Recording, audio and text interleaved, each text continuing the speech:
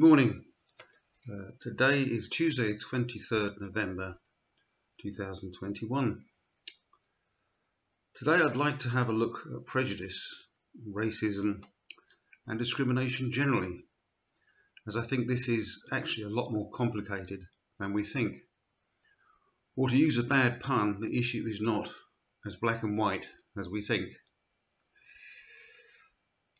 I can claim to have experienced prejudice and racism firsthand because when I arrived back in England just before my ninth birthday, I was a complete foreigner here.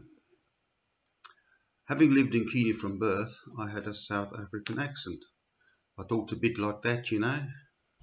You know how it is when you're a South African, yeah.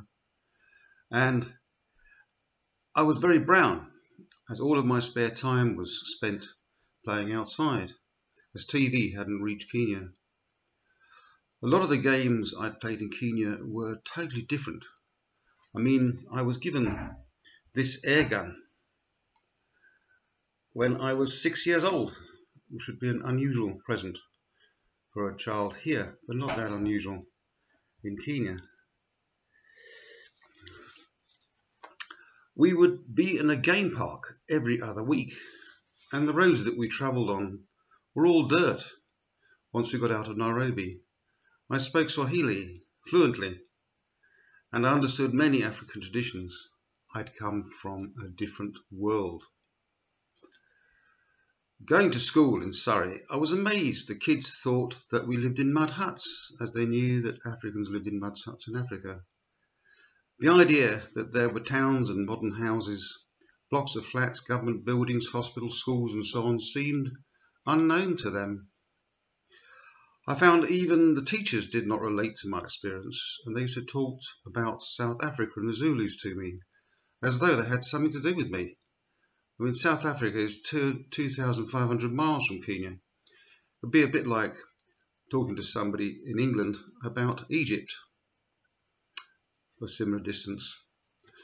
My parents were very adventurous and being teachers, we went away three times a year, and we went to many remote places that few Europeans ever went. I'd had so many adventures, it was like talking about a film to my new classmates, most of whom had not been abroad at all. I mean, Spain was only just uh, opening up for tourism at this time.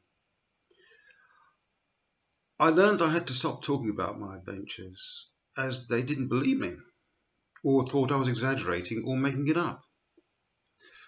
I was treated as an oddity and even with suspicion. Some bullying took place, but fortunately I was quite resilient to this, having been to boarding school already for a year in Kenya. But I found myself very cut off. I gradually learnt the playground games, watched some TV and integrated, and made some good friends. But I do remember that first year, especially the few months, as being very difficult and troubling, as the lack of understanding was remarkable to me. I could only imagine what it would be like for somebody who could not speak English and was wearing different clothes. Over the years, I believe this has been an important part of my understanding of how people work. I realised that people, without knowing it, impose their own values and their limited understanding on other people that are different to them. This is very dangerous as it can lead to stereotyping of whole groups of people as bad, untrustworthy, worthless, uncaring, and worse. We only have to think about the, how the Nazis stereotyped the Jews as being like rats in World War II to be clear of the dehumanizing effect and evil this can lead to. This process of building images of and attitudes towards groups of people takes place at a subconscious level, and I believe this takes place in all of us to some degree. And especially when whole groups start to talk negatively about other groups, the feelings can become strong, leading to angry, fearful, or critical attitudes towards other groups. This leads to prejudice, which means preconceived opinion that is not based on reason or actual experience. Prejudice leads to racism, ageism, genderism, gayism, classism, religionism, and so on. As Christians, we follow Jesus, who teaches us to love God first and then to love our neighbour as ourselves, regardless of who our neighbour is. This is vital, active work to overcome prejudice.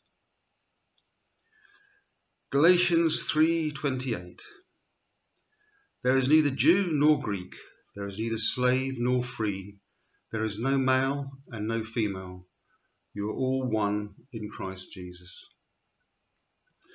Let us pray. Loving God, teach us to see through your eyes that all are your creation and are part of your purpose, which most of the time we don't really understand. We pray for loving hearts that are tolerant, kind, and welcoming, even to those we don't understand. Amen. Have a good day.